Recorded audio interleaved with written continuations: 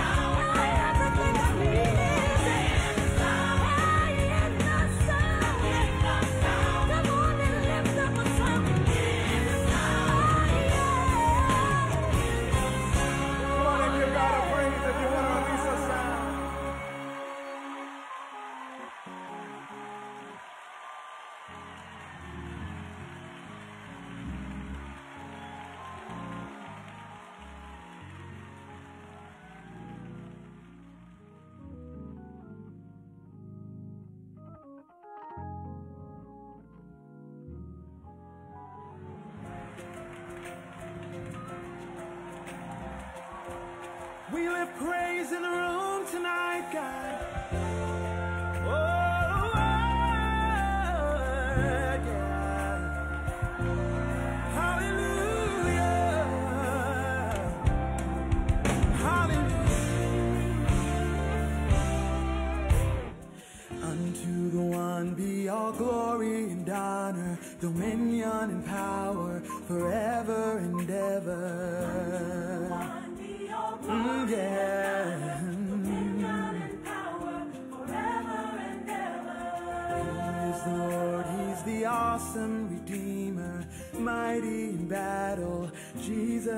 Savior.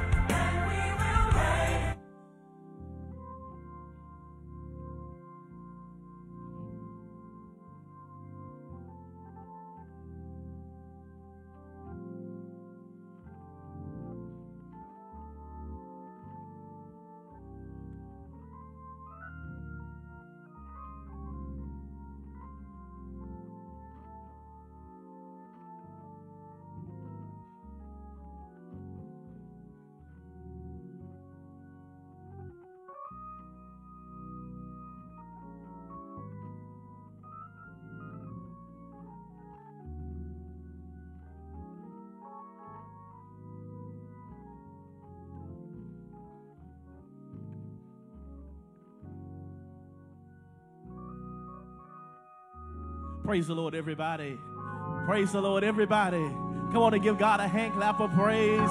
Certainly, God has been good to us. Has He been good to anybody? We welcome you to this first Friday fill up, the Preachers Network 901. I don't know what you came to do, but we came to lift the name of Jesus. Whether you watched it live or later, right here in the sanctuary on Facebook, we're grateful to God that you've decided to join us today. What a mighty God we serve. Angels bow before Him, heaven and earth adore Him. What a mighty God we serve. We're going to start the service. Pastor Sherman Helton Jr. is coming now with our prayer and scripture, and then we'll take you just a little step further from there. Come on and give God a hand clap of praise. Amen. Praise the Lord, saints. Praise the Lord. Psalm 100 says, Make a joyful noise unto the Lord. Serve the Lord with gladness. Come before his presence with singing. Know that ye the Lord, he is God. It is he who hath made us, and not we ourselves. We are his people and the sheep of his pasture. So we are to enter into his gates with thanksgiving, to his courts with praise. Be thankful unto him and bless his name. For the Lord is good. His mercy is everlasting, and his truth endures to all generations. Bow with me in prayer.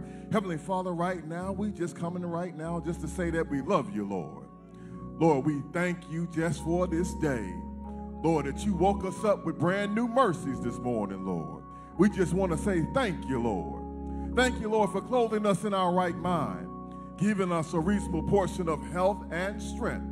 Lord, thank you for your covering last night, Lord. Lord, thank you for how you cover our family and our friends. So, Lord, right now, we want to thank you for the good times and the mountaintop experiences, Lord. But also, Lord, we still want to thank you for your presence because even in the valley times, Lord, you are still there. So, Lord, right now, bless tonight. Lord, bless our leaders, Lord. Bless our preachers. Bless our singers, Lord. Bless the musicians. Bless everyone under the sound of my voice here in this sanctuary building, here over the social media airways, Lord. Right now, we salute our you, God. Lord, we humble ourselves before you. Lord, continue to give us strength as we continue to trust in you with all our heart and all our might. These things that we ask in Jesus Christ's name, we pray together. Amen. Amen. Praise the Lord. Amen. We're not going to belabor the time. Amen. We're excited tonight for the one and only Latoya Strong is here with us tonight. The psalmist, she's coming, amen, to minister, amen, in song. Come on and give God praise for her as she comes, amen. Come on and give God praise for her as she comes. Praise the Lord, amen. Amen.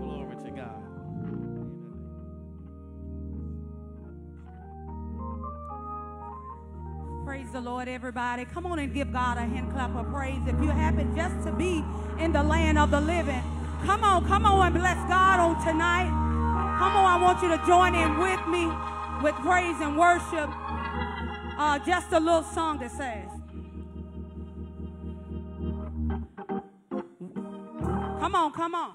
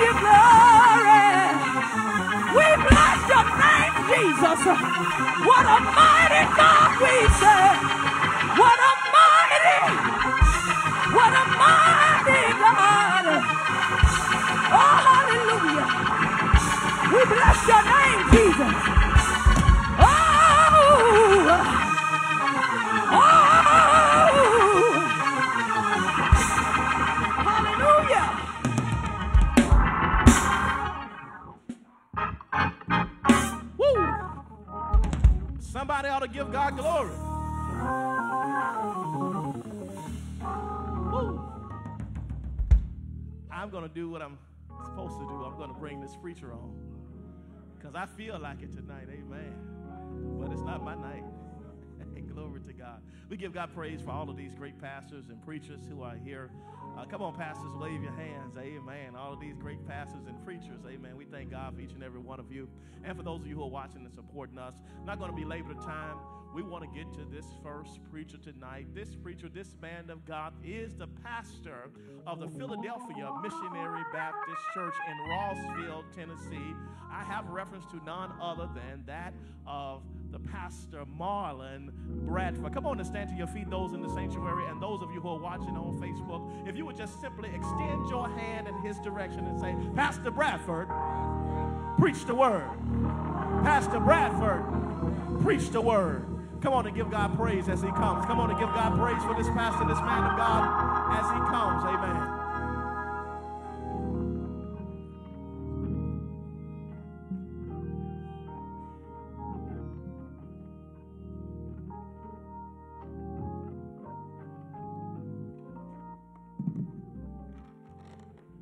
Amen. What a joy it is, my brothers and sisters, to be in the land of the living on our way to the land of the dying.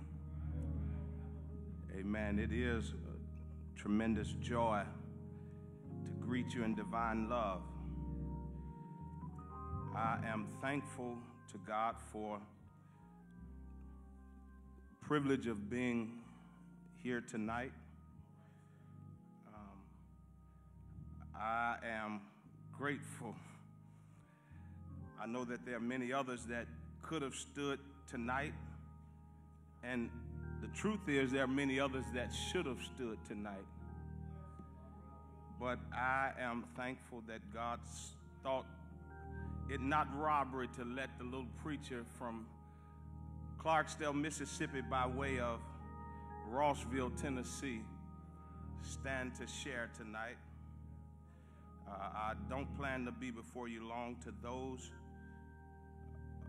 my brothers and sisters in the gospel that are here to the Preachers Network, Preachers 901 Network. My brothers, I thank God for you for this esteemed opportunity. To all of you that are not only on the scene, but those of you that are watching on the screen, I thank God for you. I don't plan to be before you long. Again, uh, thank God for all of these preachers of the gospel. Thank God for Sister Strong that have led us into the presence of God. Um, there's a familiar passage of Scripture, and I don't plan to be before you long. Those of you that have your Bibles, if you would turn with me to Acts chapter 27. And again, I do not plan to be before you long. My time has been given to me, so if I If I be a black Baptist preacher, y'all excuse me tonight. Amen. Amen. Acts 27.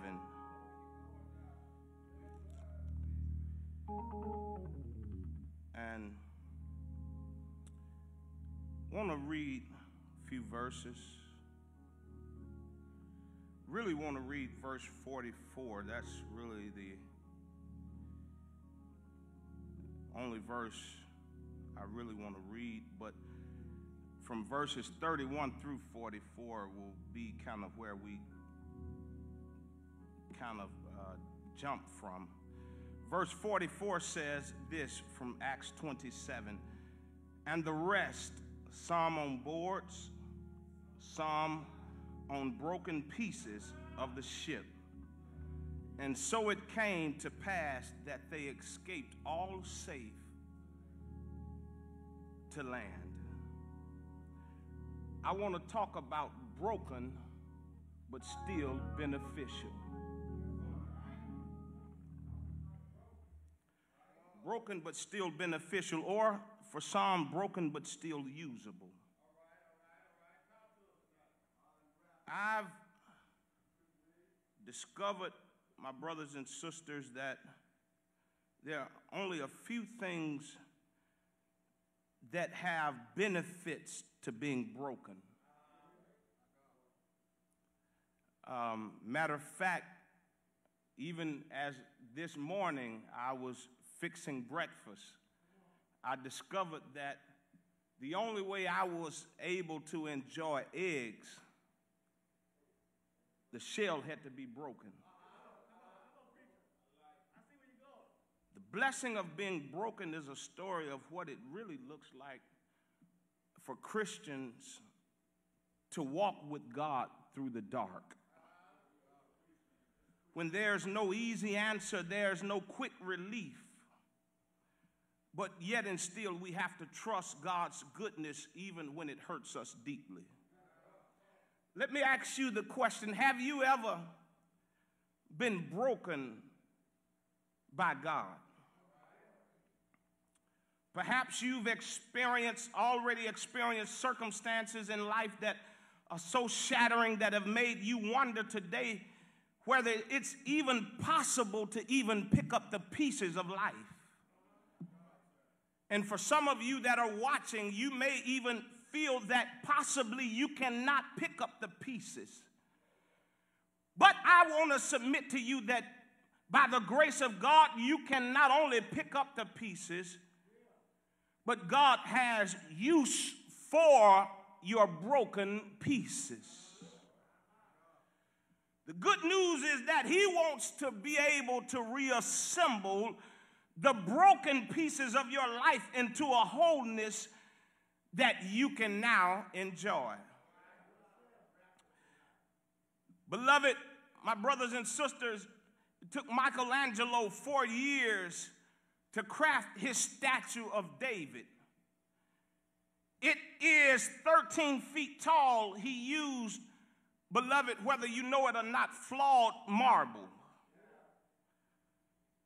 He, he took marble, the same block of marble that was rejected by another artist because it had breaks and impurities in it. But Michelangelo was able to see that the core of the marble was still good. Michelangelo was able to see what others could not see. Even though it had breaks in it, he still saw the benefit of it. Even though it was broken and flawed, had many imperfections, he saw usefulness with it. And beloved, you and I tonight, we all know what it means to be broken, to be shattered, to feel as if our world has been fallen apart, has been broken apart, been blown apart. We've at times in our lives, brothers and sisters, we've had to raise our head off of the pillow when we felt the tears that would not stop flowing. We've been broken, beloved. There are several things about brokenness that I've discovered. Brokenness, beloved, is a prerequisite for receiving God's grace. Not only is brokenness a, re- a prerequisite for receiving God's grace, but I've discovered that brokenness allows God to freely work in our lives. Beloved, what we ought not do is run from being broken when God chooses to break us. Because I've discovered, beloved, that brokenness it develops character qualities in us. There are some things that you and I would not be if it had not been for the beauty of brokenness.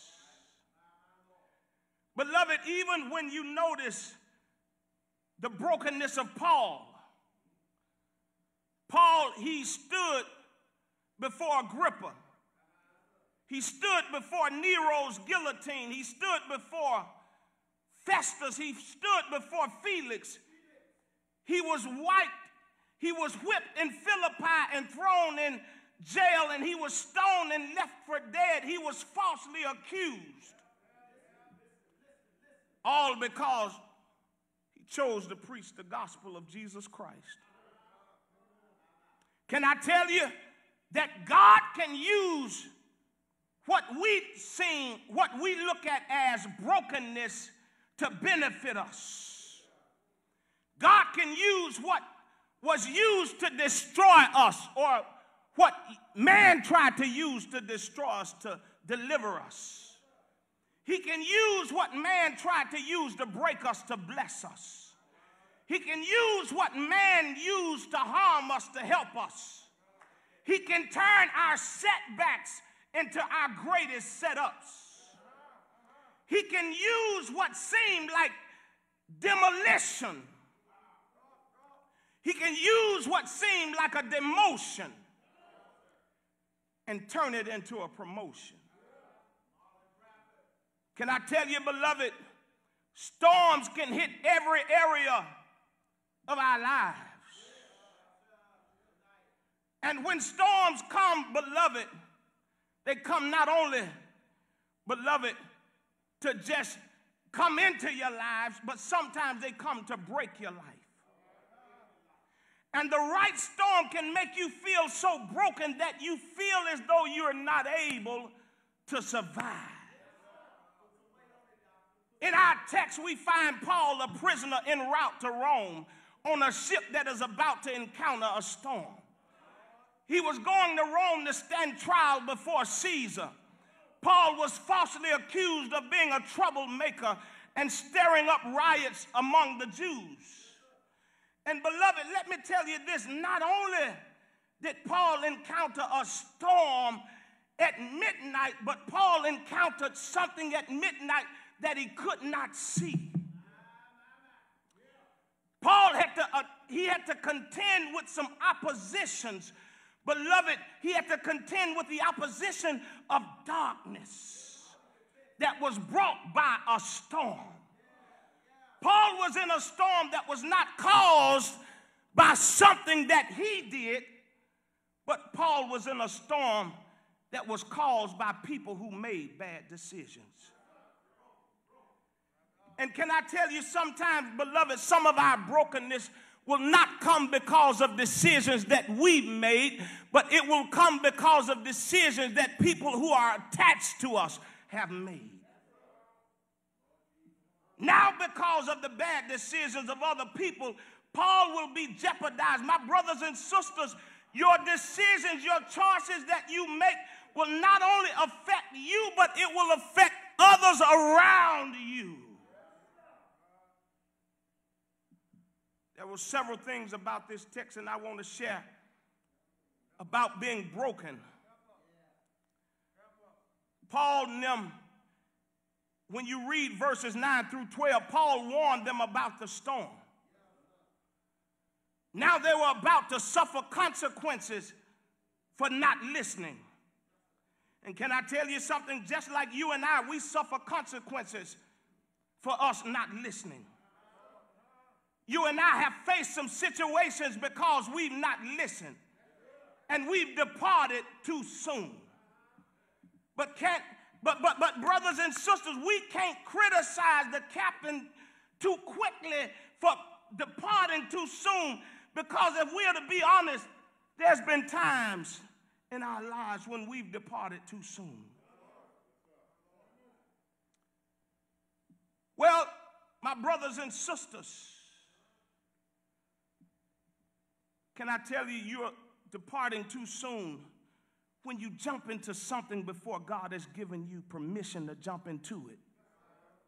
Can I tell you, you're jumping too soon when you're jumping without God's endorsement or without God's direction or God's blessings.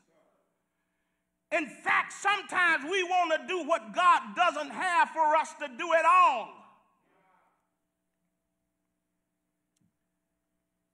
Broken but still usable.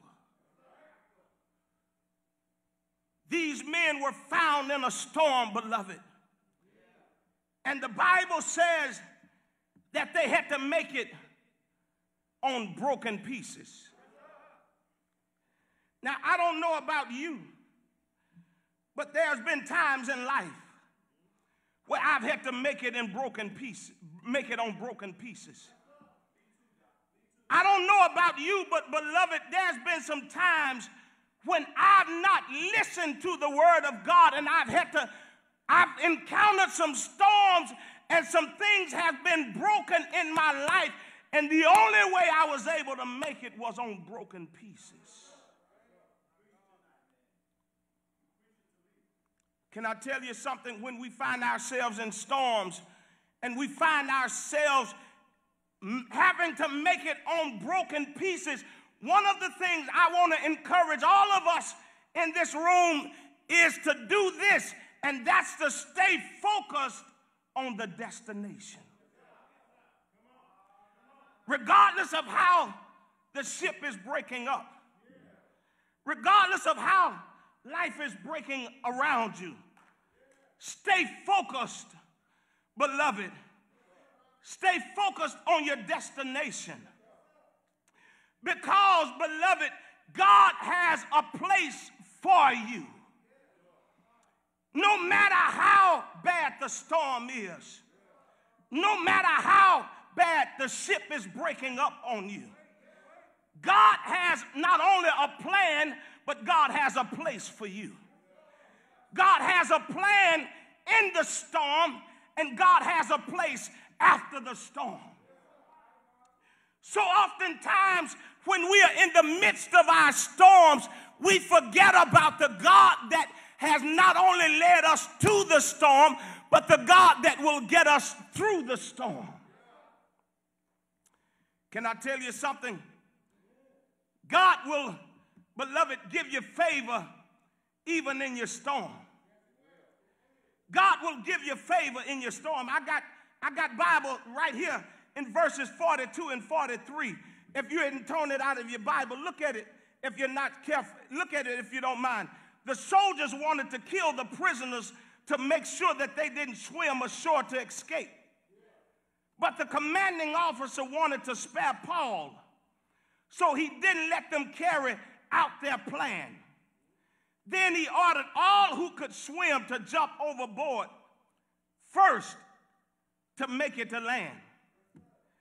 Let me tell you some brothers and sisters, there are some storms and there are some things that have happened in life that have come to break you and to destroy you. But God has given you favor even in the midst of what has tried to destroy you. God is going to use it to develop you. And can I tell you something? Because of the favor that was on Paul's life, there were others that were saved. If nothing else, beloved, I need you to hear this. When it seems as though life has been broken, when it seems as though your life has been broken into pieces, you got to learn how to hold on to something. Because there are some storms, beloved, you can't swim in because it's too much to handle. There are some storms, beloved, you can't swim through But you got to learn to hold on to the little bit that God has left for you. You got to learn how to hold on to the broken pieces. I know that it might not be what you want it to be, but you got to learn how to hold on to what you have. You got to learn to hold on to what you got left. God used broken pieces to bless us. God has a way of using broken things to bless us. God used broke speech to deliver the children of Israel. Can I tell you, God has a way of using brokenness. God has a way of using brokenness. God used a broken woman by the name of Esther. She came from a broken home. The Bible says that her parents died, but she had a cousin by the name of Mordecai who raised her. And even though she experienced brokenness, she still had value and she still was usable. I, am reminded of somebody else that was broken. There was a woman from Samaria. The Bible said she had five husbands, and the ones that she had wasn't even her own. But God found usefulness in her brokenness. And can I tell you, God has a way of finding usefulness in your brokenness. God took five loaves of bread and two fish, and he broke it and he blessed the multitude. Can I tell you, God has a way of using brokenness to bless us. Can I tell you, God used his broken body on a hill called Calvary. He gave his hands to the nails and he gave his feet to the nails. He gave his side to the spear and they broke him on a cross. But that wasn't what ended him. On a hill called Calvary, they hung him high and they stretched him wide. He hung his head for you and me, he died. They thought that the broken pieces of Jesus would not be able to redeem mankind. But can I tell you, when they broke him on a cross, he provided wholeness for you and I. On a hill far away stood an old rugged cross, the emblem of suffering and shame. Can I tell you his brokenness? It brought about blessedness for you and I. And I'm glad tonight that he was broken for me. He was broken for you. I'm reminded of a story of an old woman that was coming out of Family Dollar.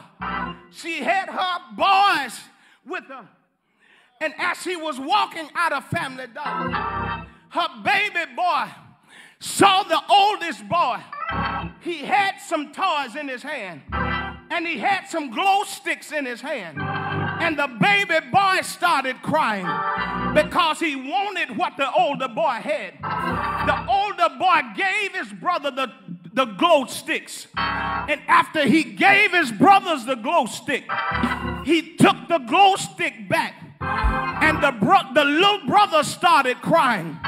The mother started saying, Give the stick back to your brother. Give the toy back to your brother.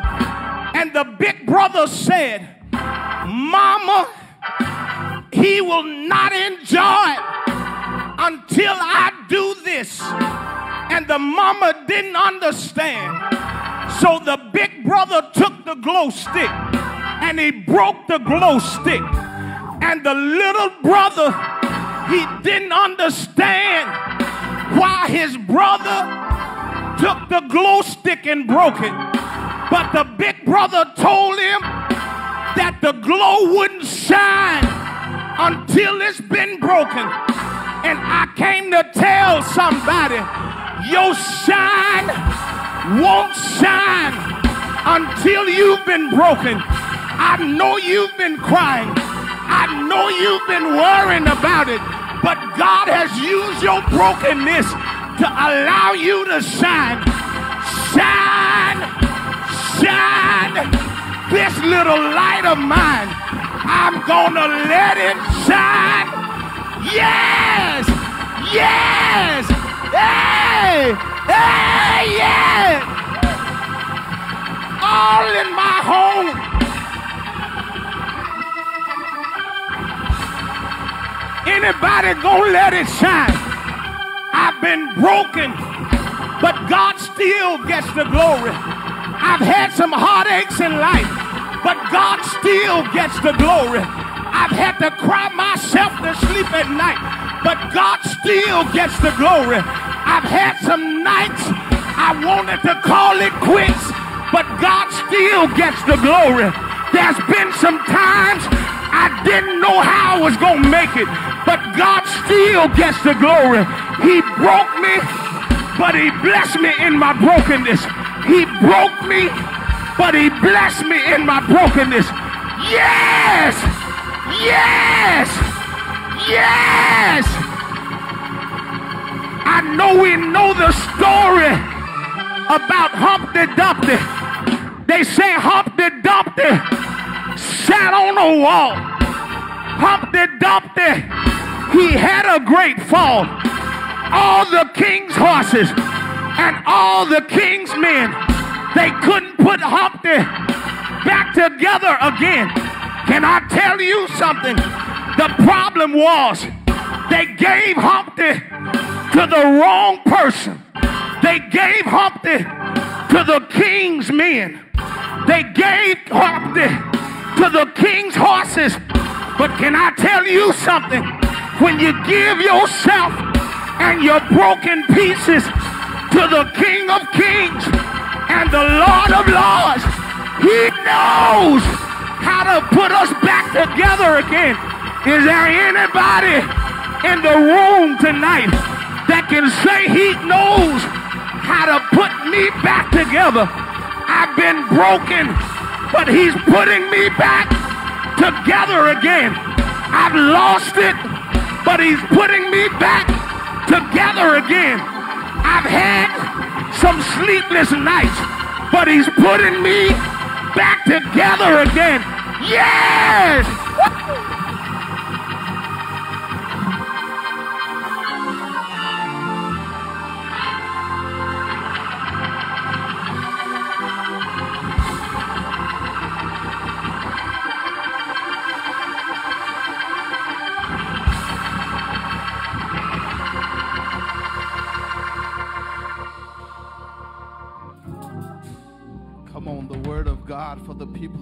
God. Thanks be to God. Come on, let's praise God for Marlon Bradford. God bless you, Pastor. God bless you, sir. Amen. Broken but beneficial. Amen. God bless you, sir. Making it on broken pieces. And whatever we do, we are to let our light shine. We praise God for you, sir, and we pray, God, that God will pour back into you what you have shared with us. Amen. Even in a, a reasonable double, triple fashion. Amen. We speak life to you and your ministry. And thank you, sir, for being a good brother, good pastor, good preacher. Amen. Thank you, sir, for that powerful, relevant, right on time We're making it broken but beneficial. I've been helped tonight. Amen. I rise in this auspicious occasion tonight as we're celebrating to honor and to recognize the angels of this house, none other than Pastor Paul K. Reed and co pastor Deborah Reed. Will you praise God for them? Amen. As well as the executive pastors who happens to be the visionary and founder of this particular function and the Preachers Network 901, our friend and our brother Dr. Kevin Patterson Jr. Let's cheer God for, for him tonight and to these mighty members and friends of the New Friendship Baptist Church. Thank you, thank you, thank you.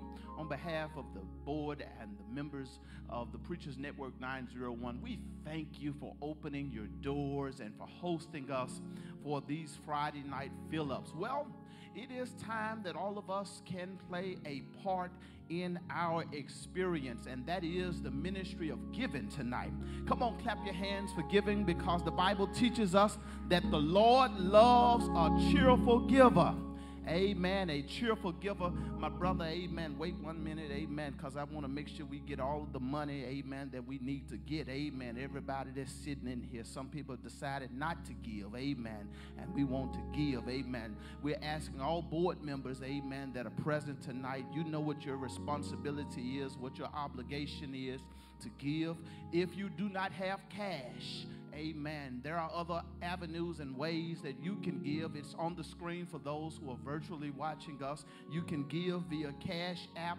That's dollar sign preach 901. That's dollar sign P R E A C H 901. Or you can give via Givelify, the Preachers Network 901 here in the church, as well as PayPal. The information is there on the screen. And if you're here tonight, you can give. Amen. Doc, uh, Pastor um, Kevin Patterson Sr., who is there with the gifts and bucket in his hand. Amen. I want to pray over those gifts. Amen. And then we will give tonight. Amen. Have you been blessed already? We thank God tonight for our guest psalmist. Amen. Uh, Lady uh, Latoya Strong and to this preacher, and we have another preacher on the way. Amen. Let's pray. Lord, we thank you now for giving us the best gift you had by sending your son Jesus to live, die, and rise again. And now we are the beneficiaries of his love, of his sacrifice, of the spirit that you left here with us tonight, God, in obedience to the word and declaration that has gone out. We give tonight. And we pray for those who are giving. Thank you for the Preach 901 that seeks to endeavor and to be a beacon of light and hope to those in our community as we go out to minister and to provide community service for those who are the least, the lost, the left out, and even the lazy. Thank you for these men and women of this network those of our friends who partner with us to make a difference in this community. Take us higher now is our prayer. In Jesus' name, the people of God said together, Amen. If you, you're going around, let's give, Amen. I ask that you will stand once you've given. If you'll stand, when it seems like the doors of progress have closed in your face, and no matter what you do, your friends don't appreciate. You need to just steal away, fall down on your knees, tell God, tell my God, have mercy, please. Come on, Lord, I want you to see. Woo. Mm, the right way is a narrow way. It don't have no crooks or bends. Lord, since I started on this Christian journey, I found out that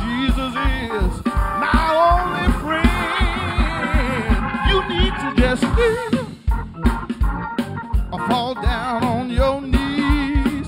Tell God, come on, put your hands together like this. I have mercy, please. Come on, Lord. I want you to see. I'm gonna sing that again. Oh, the right way is a narrow way. It don't have bends. Ooh, since I started on this Christian journey, I found out Jesus is, He's my only friend. Just you, good God Almighty, fall down on your knees. Tell my God, have all given tonight, have mercy. Ooh, yeah. Lord, come on. I want you to see, Lord, about me. Ooh, the right way is a nap. Man, you playing that thing. It don't have no crooks or beans. Since I started at the age of eight, this Christian journey, I found out that Jesus Christ, Mary's baby, is my friend. Woo! God bless you tonight. Ooh.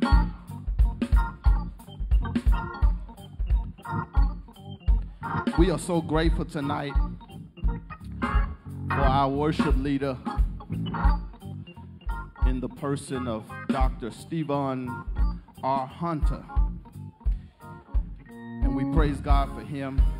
Before our capable psalmist come, I want to take this time to present our preacher, our next preacher tonight. Amen. We are so grateful that the Lord sent him our way.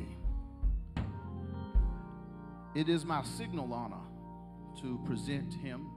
He's no stranger to us, no stranger to Memphis. He's a native of Memphis, Tennessee. He's a graduate of one of those other schools, high schools here in Memphis, Tennessee. I am so thankful to be able to have this awesome privilege to present him tonight to the body of believers, viewers, and worshipers of the Preachers Network 901. He is a learned man.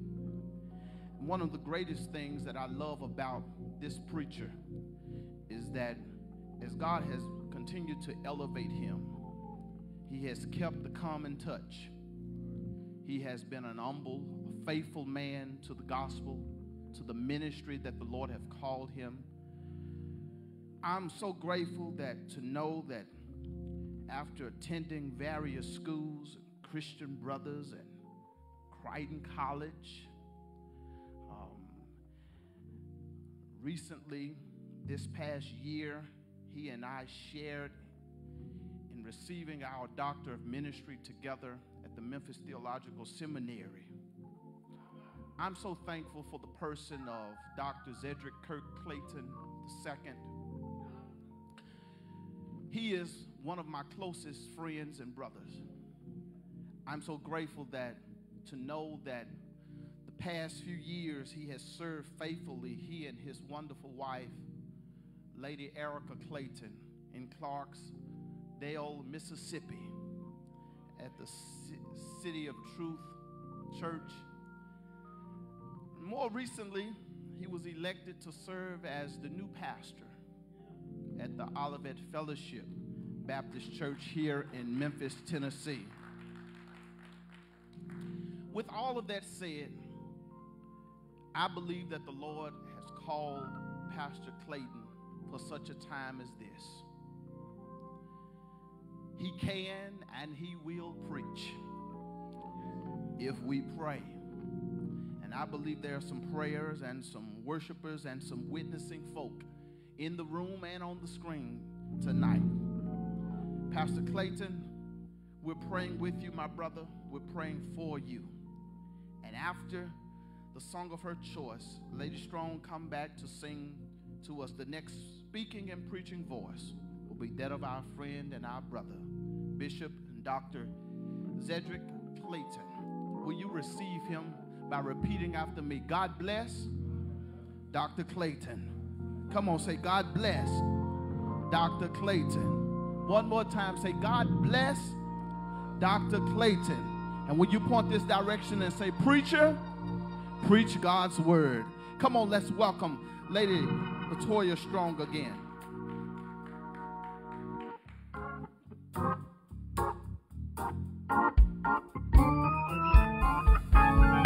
Oh, come on and put your hands together. We're getting ready to go a little bit farther, a little bit higher.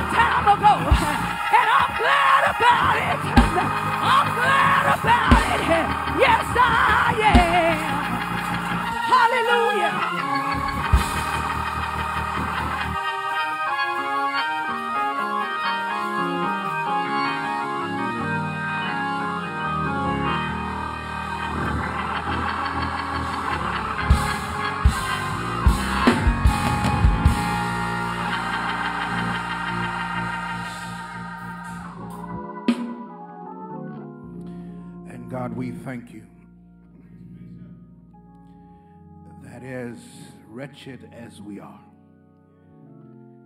that we can consider ourselves your children. As unholy as we are, and as righteous as you are, you still call us your own. And for that, we say thank you. Now, God, it is preaching time and I cannot preach until you come. Hide me behind Calvary's cross, allowing your people to see you and not me. God, allow me to decrease as you increase. Allow me to be minimized as you are maximized.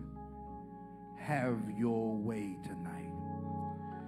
Take over my mouth, take over my mind, that I may think your thoughts and speak your words only that transformation will take place. Give me clarity of thought and accuracy of speech. It's in Jesus' name we pray. Hallelujah and amen. To God be the glory for the things that he has done. I was glad when they said unto me, Let us go into the house of the Lord. If you're excited to be in worship or at least tuning in to worship tonight, I dare you to put your hands together, open up your mouth, and just worship the name of our God. For truly, our God is amazing, our God is awesome, and our God is faithful. Uh, to these preach brethren and to our visionary Dr. Kevin Patterson and to uh, the board of this Preachers Network 901 and to all of the preachers uh, that are here and to everyone that is here and those that are watching. It's just good for us to be here. Amen. I'm excited to share tonight. I don't have a lot of preliminaries. Psalms 34. Psalms 34. Want to begin reading at verse number one. I'll be reading from the English Standard Version of the Bible. Again, Psalms 34. And it says this I will bless the Lord at all times. His praise shall continually be in my mouth. My soul makes its boast in the Lord. Let the humble hear and be glad. Oh, magnify the Lord with me, and let us exalt his name together. Verse 4 says, I sought the Lord, and he answered me and delivered me from all my fears. For the time that is ours to share tonight, won't you give your neighbor my subject and say, Hey, neighbor, oh, neighbor, I just couldn't help it. That's the wrong neighbor. Look at another neighbor that looked like God has done something for him and say, Hey, neighbor, oh, neighbor, I just couldn't help it. You may be seated in the presence of God. I just couldn't. I just couldn't help it. I just couldn't help it. Have you ever been in a place in your life where God has done something so great and so amazing in your life that it just literally almost blew your mind? Where you seemed like that your back was against the wall. There were times where your back was against the wall, and the only way that you made it out of the situation that you made it in, because it was only because of the hand of God that swooped in and kept you out of the stuff that you were in. Have you ever had situations and circumstances in your life where things had gotten so bad that your money couldn't get you out, your connections couldn't get you out, your education couldn't bring you out, and the only way that you made it, it was because God stepped in and made a way out of no way. Have you ever been there where you had to simply reflect over your life and think about the many times that God has brought you out and brought you through? And when you think about those things, the only response you have is to give God glory. Your hands start waving and you ain't trying to speak to nobody. Tears start flowing down your face and ain't nobody bothering. Your feet start moving and you ain't trying to go nowhere because when you think about the goodness of Jesus and all that he has done for you, there's a response that comes out of you because of the great things that God has done in your life. And I mean, if God hadn't brought you through nothing, uh, I can understand you're not praising. But I'm talking about those of us uh, that have been through some st- tough and rough stuff uh, that God has allowed us to survive some of the craziest seasons of our lives. We have no other choice but to give God glory because God is the one that has made a way for us and brought us out of the things we found ourselves in. And the truth of the matter is, brothers and sisters, you can always tell in church who's God made a way for because of how they respond. Because when they say, Bless, praise the Lord, everybody, the one that hands go up first, the one that gets the loudest, is because they got a memory. They can think about what God has brought them out of and they respond because of his goodness. Ah, and truth of the matter is, this is the mindset that David has in our text tonight. For the Bible tells us that the background of Psalm 34 is found in 1 Samuel chapter 21 because David is on the run. He is on the run from King Saul because Saul was trying to attack him because David was next in line to be king of Israel. Saul is on the David rather is on the run because Saul is hating on David because David got next. Have you ever been there where people where you're being attacked by someone who has more more than you. You've been attacked by someone uh, who has more education than you, that has more money than you, that has a bigger title than you, and you're trying to figure out why are they bothering me? I'm low on the totem pole. Well, can I help you tonight? It's simply because you got next. And the reason why you're going through the hell that you're going through is because the grace of God and the anointing of God is so rich on your life that it does not matter who don't like you and what they say about you. God still is going to open the door for you because you got next. Uh, uh, have you ever been there? The Bible says they are attacking him not because of his presence. But David is being attacked because of his future. Bible says that Saul hated David because of a song that other people were singing.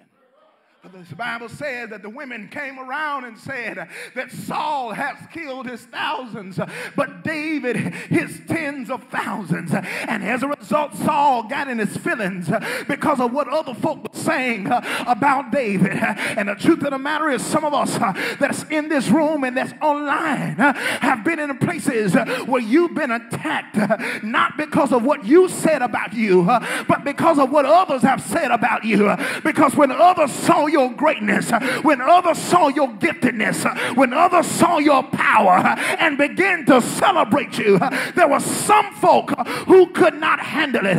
And brothers, I've always said, brothers and sisters, I've always said, the way you know who's for you is not in times of mourning, but the way you know who's for you in times of when you're being elevated.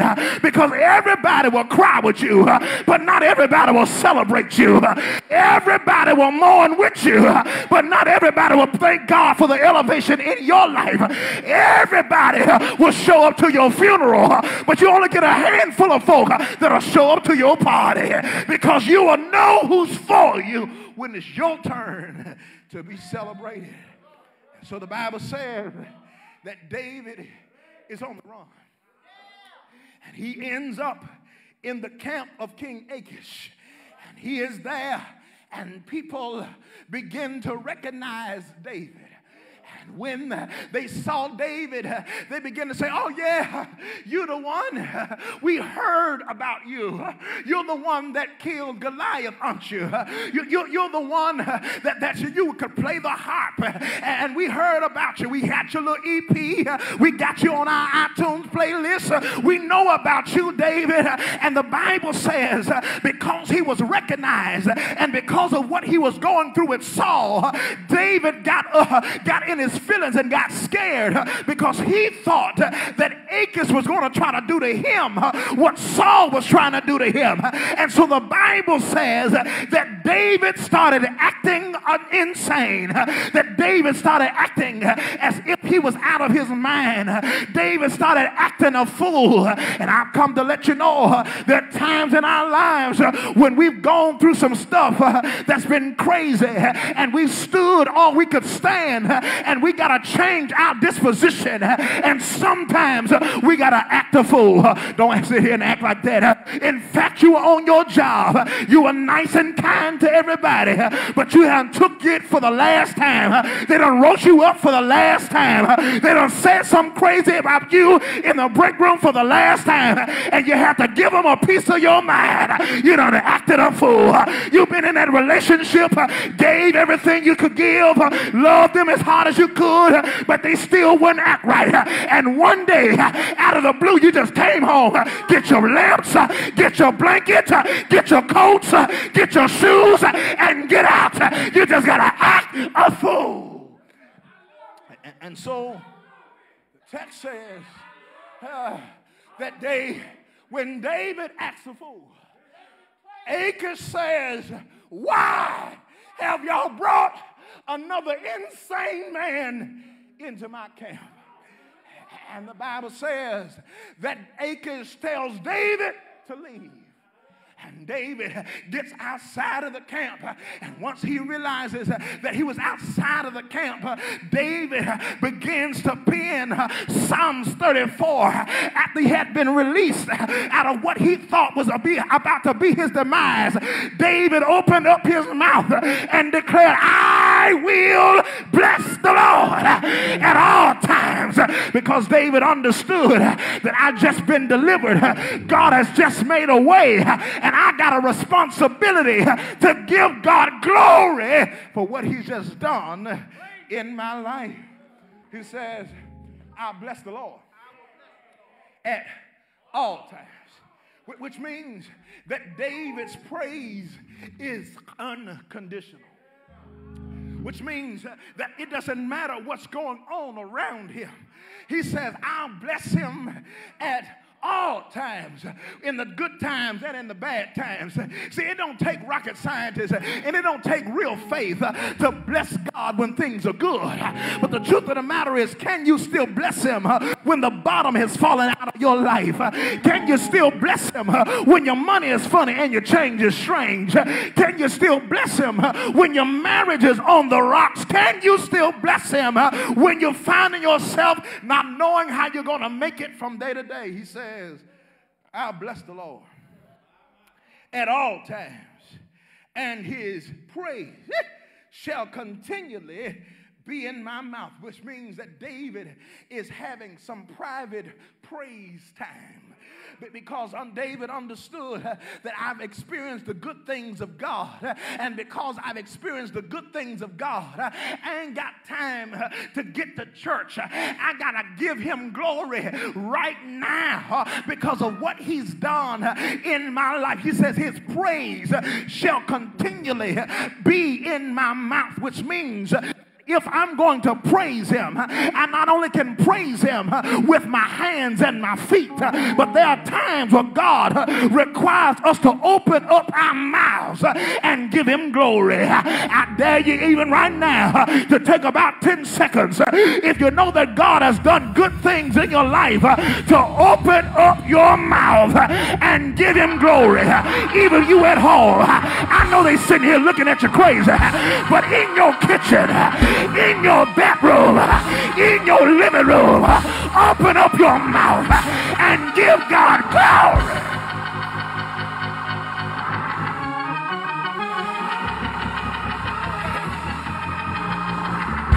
He, he says, uh, then he says, My soul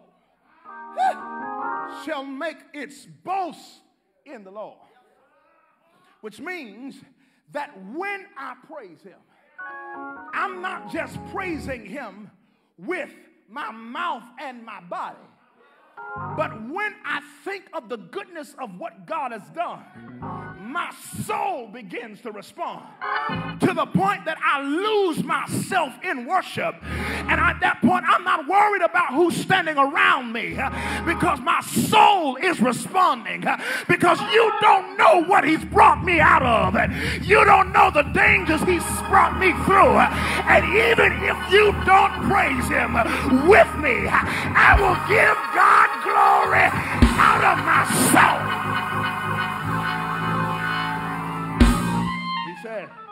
watch this. He says that when my soul starts praising him, he says, then it will spark something in other folks.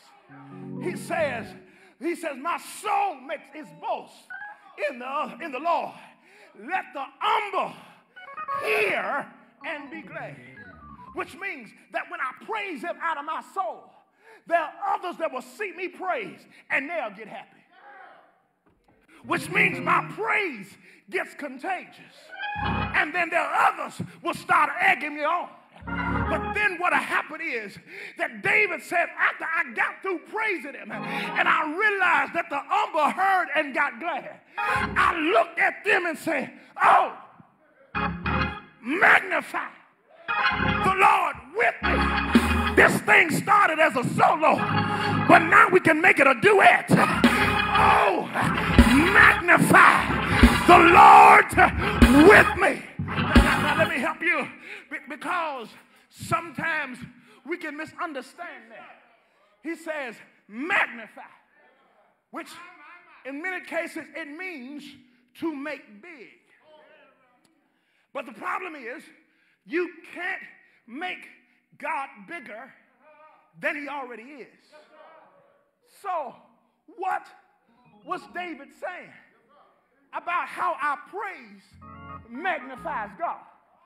He is saying, I'm not trying to make him bigger in the universe, but the more I praise him, I make him bigger in my situation. So the more I give him glory, the bigger he becomes in my sickness. The more I give him glory, the bigger he becomes in my finances. The more I give him glory, the bigger he becomes in my house. The more I give him glory, the bigger he becomes in my city. The more I give him glory, the bigger he becomes in me. Is there anybody in the building that's gonna give him glory so we can make God bigger?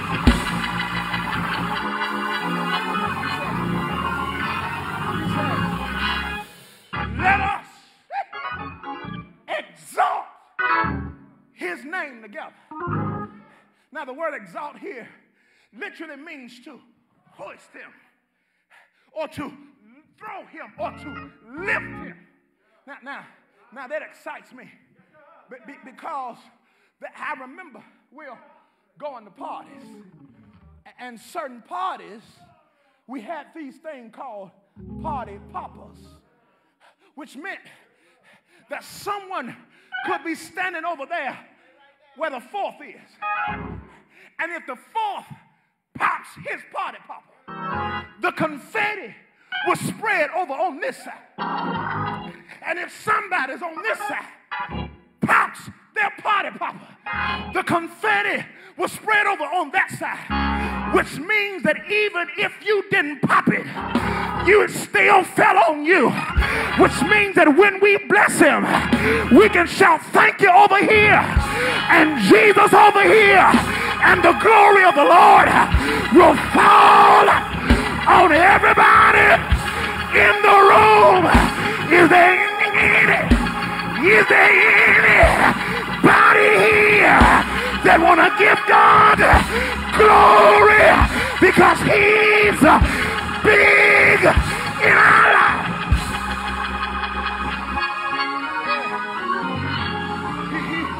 He said, "We exalt Him.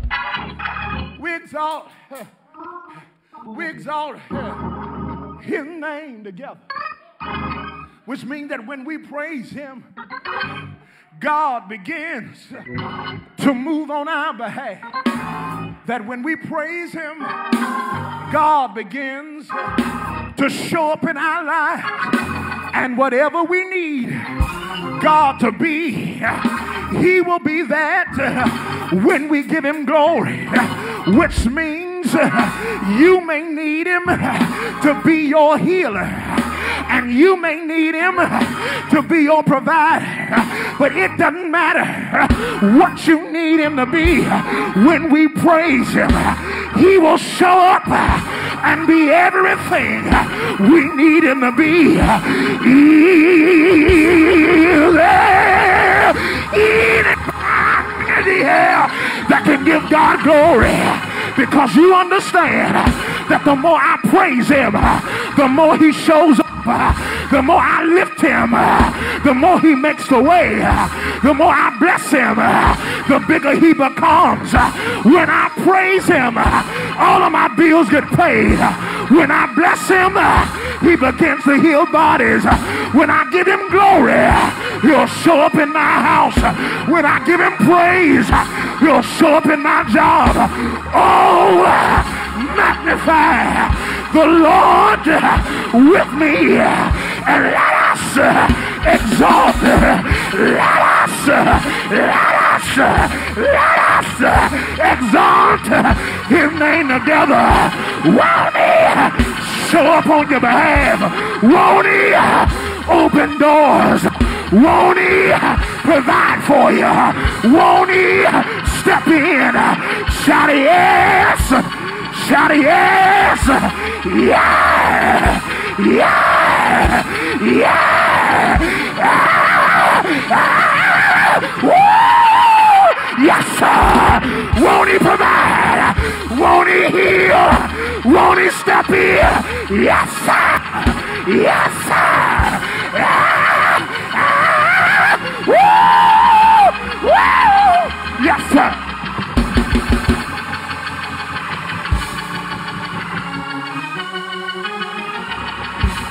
One more reason that I give him glory. One Friday on a hill called Calvary, he died for your sins and mine. But that's not how the story ends. Three days later, he got up. He got up. He got up. Yeah. Yes. Yes. Yes. Living, he loved me dying, he saved me. Buried, he carried my sins away. Rising, he justified and freed me forever. One day, he's coming back. Is there anybody that can give him glory? Because he's coming back. Shout it, yes! Yes! Yes! Yes! Yes! Yes, sir!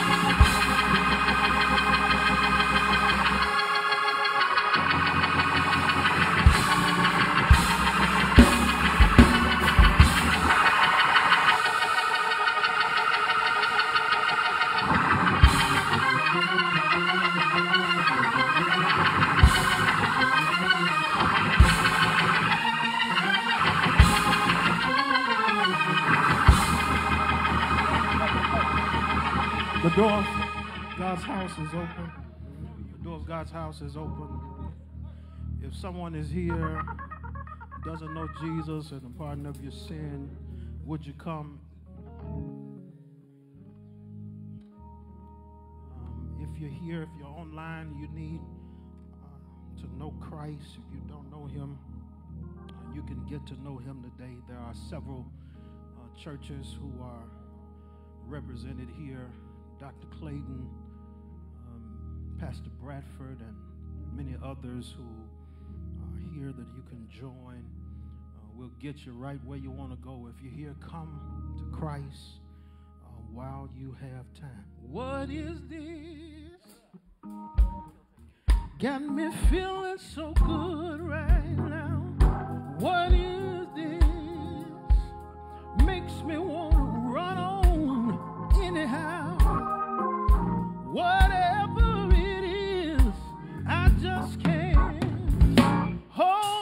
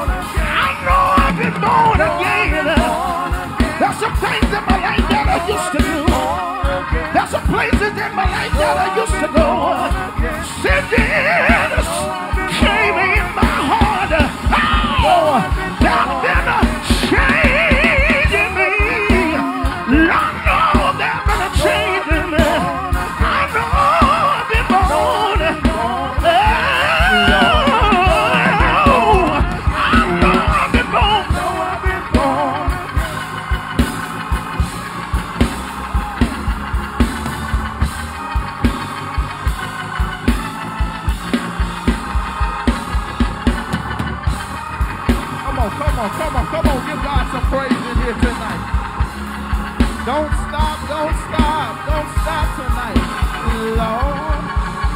Oh, though I've been born, I've long been born.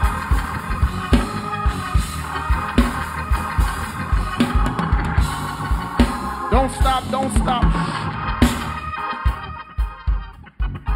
Tonight, we need your help tonight. Amen. We need your night help. If you've been born again, we need some more money. If you've been born again, we need some more money tonight. Amen. Pop, get a basket if you don't mind tonight. Preachers, amen. I know you've saved some of your money tonight to go and get some food. Amen. But we want you to give tonight. Amen. So that we can be a blessing to these preachers. Woo! Pastor Marlon Bradford, Pastor Zedric Clayton. Don't ever come to church, don't ever hear a word without sowing into the word. Amen. Tonight, amen. Give me my phone, amen. I didn't bring no checks, amen. Amen. I'm going to give an extra $50. Amen. This is all the cash I got. Wait, I'm going to send my money so that I won't be lying in the pulpit. Amen. Dollar sign preach 901. Amen. This money is not going to any one of us as a member. We're definitely sowing, amen, and being a blessing, paying our bills tonight, amen. And we want to be a blessing to those who have worshiped with us, who have been a participant, amen. And we want to be a blessing and have some seeds sown into this ministry. Just the other week or so, amen, many of these gentlemen and others, amen, we teamed up together and we provided Christmassy to those who are behind prison walls. We were there, it cost money, we gave them snacks and food, amen, and that came out of the Preach Network 901. So I don't want you to think that your money is being wasted, amen. It's not greasing nobody's pockets, amen. We got our own churches, amen, and, and they take good care of us, amen. And so we thank God for you. Some of our members are watching. We are asking you to join us tonight in sowing a special sacrificial gift tonight. Those in the audience as well, get your gifts together. Amen. And Pastor, Amen. Pop, if you would just go ahead and be given. I've sent my 50. This is an extra 10. Amen. I believe in giving. We believe that we cannot beat God's giving no matter how hard we try. Amen. Thank you for those who are sending money via the Cash App. You can give via Givelify. Amen. Give via Givelify tonight. The Preachers Network 901. Cash App again is dollar sign preach. The number nine, the number zero, the number one. P R E A C H 901. Amen. Let's hear it again for our preacher. Amen. Our second preacher, Dr. Clayton. Amen. Who's coming right now? Amen. I just wanted to do this. I wanted to. I got up here, and when you get around preachers, you get nervous. But I wanted to recognize my wife who is here.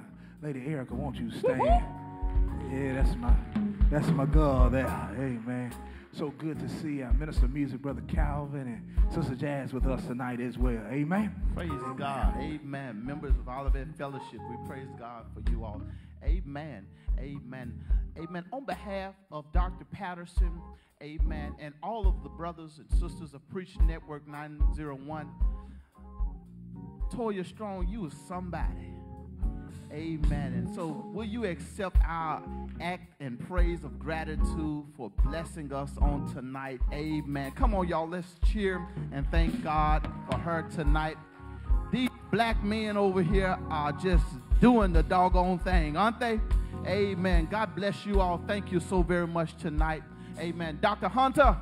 Amen. Dr. Stephen Hunter. Amen. Let's thank God for him, our worship leader tonight. Amen. And to all of you, God bless you, all of our preachers. It's time to go. It's eight minutes past our time. Brother Willie, we got to get out of here. Amen. Let's thank God. Pastor Bradford, again, bless God for you.